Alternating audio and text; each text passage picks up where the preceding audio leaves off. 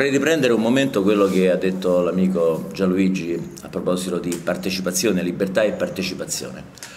In effetti una delle ragioni, una delle tecniche con cui è stato disinnescato il, la partecipazione del popolo è stato quello di spostare sempre più in alto, in modo verso i vertici, il potere nei partiti. Una volta avevamo i partiti di massa, poi sono arrivati i partiti guidati da leader, i partiti che avevano il nome di un leader addirittura e si è creato un vuoto di bisogno di partecipazione. Questo vuoto è stato riempito da un movimento apparso dal nulla, il Movimento 5 Stelle. Grazie alla verva, alle capacità mh, istrioniche di un attore, Ricordo che Beppe Grillo fu ingaggiato da Gianroberto Casaleggio nel suo camerino dopo uno spettacolo. Non sappiamo di chi fosse l'emissario Gianroberto Casaleggio.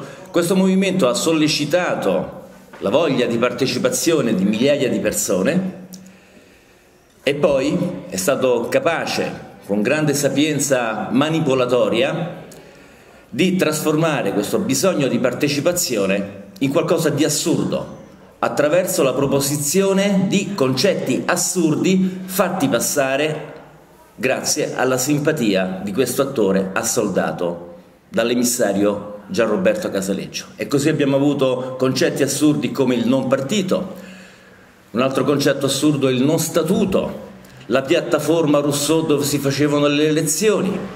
Di fatto questo partito è guidato da una cerchia opaca non ha mai celebrato un congresso, non sappiamo in che modo le decisioni vengono assunte, non è politicamente scalabile. Chiaro? E in questa situazione, con tutto questo che c'è alle spalle, il Movimento 5 Stelle si è rifiutato di prendere posizione su temi centrali prendendo, facendo dire ad alcuni dei suoi rappresentanti delle cose e ad altri rappresentanti la cosa esattamente opposta, nello stesso tempo, e poi in tempi diversi ha preso posizioni opposte.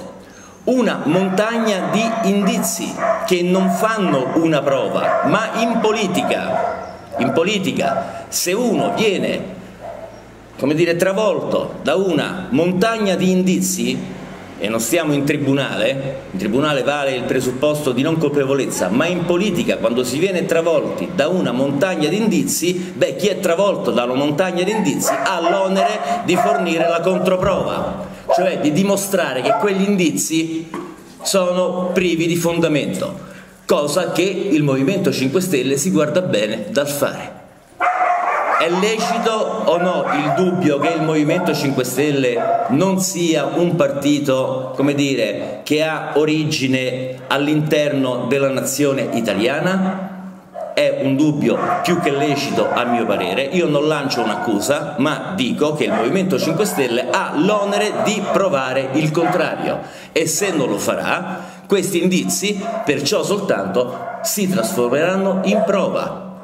Io sospetto che il Movimento 5 Stelle sia un, dire, il prodotto che ha avuto un successo anche superiore alle aspettative da parte di coloro che lo hanno progettato, ma il prodotto di una ingerenza nella politica italiana. Chi ha, lo ha messo in piedi probabilmente inizialmente pensava di condizionare la politica italiana, oggi questo movimento, questo partito ha il 32%, quindi la domanda che cos'è veramente il Movimento 5 Stelle è una domanda a, a questo punto assolutamente ineludibile.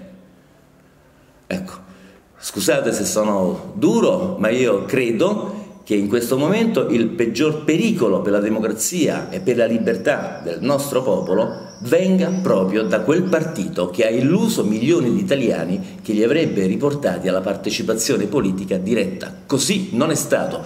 Attenzione, io non accuso i militanti del Movimento 5 Stelle, non accuso neanche quelli che rimangono nel Movimento 5 Stelle perché ormai sono, come dire, in carriera, è umano, lo capisco, non li considero nemici ma se veramente il Movimento 5 Stelle è come dire, la creatura di agenti esterni alla nazione, beh, questi li considero nemici. E se in Italia ci sono persone che sono a conoscenza di questa cosa, costoro sono traditori della patria. Grazie.